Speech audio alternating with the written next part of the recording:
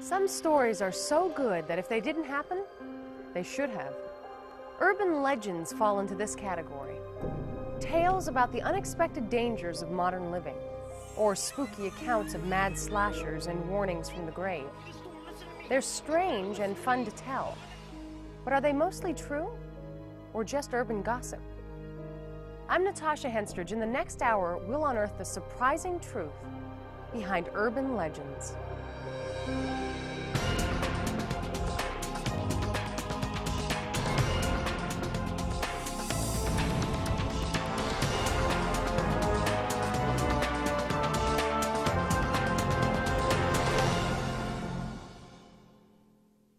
Strange killers are a favorite theme of urban legends because few things are as scary as a killer we don't understand. But in the following story, we may not even know who the killer is. This story is sometimes set near Jacksonville, Florida. A waitress heads for her car late one night after finishing her shift at a local restaurant. She pulls out of the parking lot when suddenly an old man in a white nightshirt spattered with blood steps into her headlights. Get away from my car! Open the door! He yells at her and pounds desperately on the car window. Terrified, the young lady locks her door, then hits the gas and races off. Shaken, she tries to calm herself and turns on the radio. It's then she hears a news bulletin claiming that a serial killer called the Slasher struck again earlier that day. The Slasher is wounded. He's also armed and very dangerous. Turning off the radio, our waitress continues her drive home. Then notices that she's almost totally out of gas. Anxious, she keeps her eyes peeled for a gas station. Then, when she comes to a stop sign, out of the dark, the screaming old man in the bloody nightshirt reappears. Get away from my car! Leave me alone! Open this door, listen to Again, he pounds on the You've gotta listen windows. And again, she floors it and speeds away. Looking back, she sees the man actually chasing her. Finally, she spots a gas station and pulls in. But looking around, the place seems deserted. Then the old man appears again, right outside her car. Get your hands off my car! Petrified, she grabs her phone and calls the cops. But no sooner does she contact them than the mysterious old man vanishes. There is a man that has been following me. A cop arrives soon after, and our waitress is relieved. She tells him her incredible story. But as the police officer looks over her car, he notices something. In her back seat is none other than the slasher. Weak from a wound, he's been hiding in the back of her car. A shocking discovery. But even more chilling is what the woman learns when she sees the evening paper. In it is a photo of the killer's most recent victim, the old man in the nightshirt. The ghost of his last victim trying to save her from the slasher. Just another ghost story? Or is anything about this tale for real? The story has no clear date of origin, perhaps because it's a kind of second generation urban legend. This seems to me, in some sense, a combination of legends the killer in the back seat legend, plus aspects of the vanishing hitchhiker legend. Uh, in the vanishing hitchhiker, the ghost returns to the place where she was killed. Ghosts often return to the scene of a crime or to correct some kind of misfortune or to exact retribution. But is it a fear based on reality or on a campfire story? A visit to Becker Automotive Design makes you wonder. Here you can see the lengths to which fearful drivers will go to defend themselves against unknown threats. Over the last couple of decades, there's been a general perception and probably reality of a rise in violence in our society. The general perception is how do I, in fact, protect myself?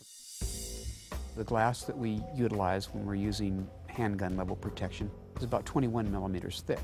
Generally, in the body panels, pillar posts, all the other areas in the car, floor and ceiling very often.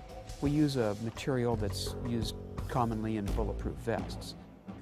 These supercars also come equipped with video displays, high-speed internet, satellite phones to call for help, and special anti-grab door handles. Of course, all this might be good against the slasher, but it's not too effective against a ghost, which is the main source of terror in the legend. It's also the hardest part to believe, especially since this ghost can't even enter a locked car. But in the urban legend, the ghost is not the real threat. It's actually a victim trying to save another victim. This surprising plot twist suggests the legend is untrue because it's a familiar dramatic device.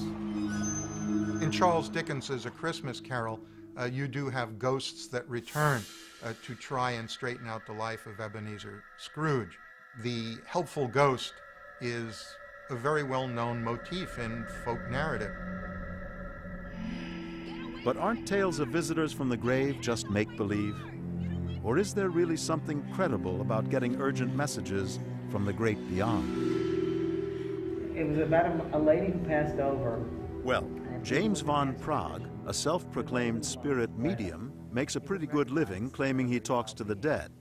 And the fact is, he really does. What's in question is if the dead talk back. To watch Van Praagh work, it seems like they never shut up. I also see a J for some reason. I don't know why, but the initial J comes in very, very strong. I don't see Jonathan or Jim or uh, J. Josh. Is that his name? Josh? Yes. That, thank you. That's how it works. It's easy. There are some spirits who are very effective at showing themselves. The medium can see, myself, I can see a solid figure from head down to toes. With mediumship, it takes a long time to develop. For many years, I had to sit learning how to open myself up and be receptive to spirit. Clearly, the woman in the legend has no problem in this department. She sees dead people. But there's another issue. There have been occasions, I'm sure, that um, my interpretation was not right. That happens as well, too. And that's a problem she does have. Fearing the helpful messenger while being totally oblivious to a killer in the back seat. Surely this part of the legend is just a scare story, right? As it turns out, something much like this actually happened. In the quiet town of North Augusta, South Carolina, a backseat attacker struck an unwitting victim in January of 2003. I went across the street to the grocery store. Um, I ran in for just a second. I come back out and got my car. As soon as I shut my door, something came around my neck, um, really tight, and I heard a man's voice. The man, armed with a knife, instructed Denise to drive to a remote location. As we was going down that road, he had got a knife and he started just cutting me, taunting me, not cutting me deep, but just all over my face. And he cut my shirt all the way down. She knew she had to act before he got her alone. I kept thinking about my son, and so I knew I had to do something. And I seen a huge embankment, and I floored it, and I just hit it head on. She then ran from the car and got help from another motorist, then called the police. They never found her attacker, and the event continues to haunt her. When I first got in my car, I checked my back seat, I checked my front seat, I checked everything before I even opened the door. So the legend of the backseat slasher is mostly true. The only part unproven is the detail of the helpful ghost. But some even believe this. I really believe in guardian angels. I believe I had one looking over me that day. I know I did. Open the door! In this story, the victim was lucky to escape death. But there are others where a belief in luck becomes the cause of death. True or false? During wartime, the seal of the President of the United States is modified so that the eagle's head faces the arrows instead of the olive branch. The answer when we return. Is the seal of the President of the United States changed during wartime so that the eagle faces the arrows? False. Since 1945, the eagle has always faced the olive branch.